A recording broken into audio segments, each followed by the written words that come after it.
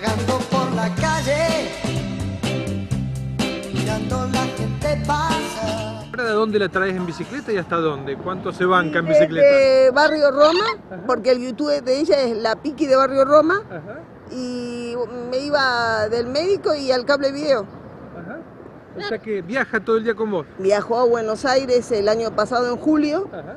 eh, entró en los lugares más insólitos, entró a Comodoro Pi justo cuando entraba barata, mi mamá entrando con la lora en una cajita, nadie se enteró, entró a la UBA porque habíamos llevado una denuncia penal y el, y el animal lo fuimos al bar de la UBA, viste que en julio, que es las vacaciones, qué sé yo, eh, nos pusimos a tomar un café y, Y ahí todo. estuvo la lora. Eh, estuvo la lora y la alzaron y sacaban fotos todo. Y acá pasea por toda la ciudad con vos. En Sí, en Buenos Aires este, fue en subte y en colectivo.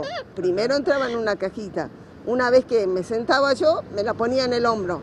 Después los colectiveros me la pedían para sacarse fotos. Y uno me dice, no me la prestás para mi suegra si la saco de la casa. Dice que hace bastante que no la quiero tener. ¿Estás nerviosa cuando la llevas en la bici en tu hombro? No, no. Siempre en el hombro la llevas. El animal, no, si vos te fijas bien, no tiene las plumas cortadas. O sea que no se va porque no quiere.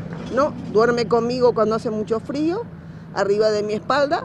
eh, la tapo, no me ensucia. Después voy a la mañana, la llevo al baño, abro la canilla del lavatorio, hace las necesidades y listo. Por demás de educada la piqui. Por demás, sola, ¿eh? Sola. Escucha, o sea, le saco, salgo a la mañana, pasa una persona, le dice hola, lo saluda a todos los vecinos. Así ¿Te que. dice cosas también habla, ¿no? Sí, sí, sí, sí. sí. A ver, ¿qué puede No, no la puedo hablar, buscarlo en la página. Hola, Piqui. Hola, Papá Noel, ¿cómo es? Hola. Hola, Papá Noel. ¿Cómo es? Sácame de bolsillo. Sácame de...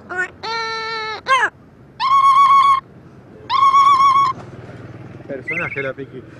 Hasta dice que el teléfono celular hace el sonido del Mi celular. hermano le enseñó todos los sonidos. Después le que pasó de las pastillas, porque se comió un blister de anapril y el otro diurético. Después de eso estuvo un mes muda. Entonces empecé a comprarle juguetitos y de todo y, y se acostumbró, empezó a hablar de nuevo, pero le costó bastante.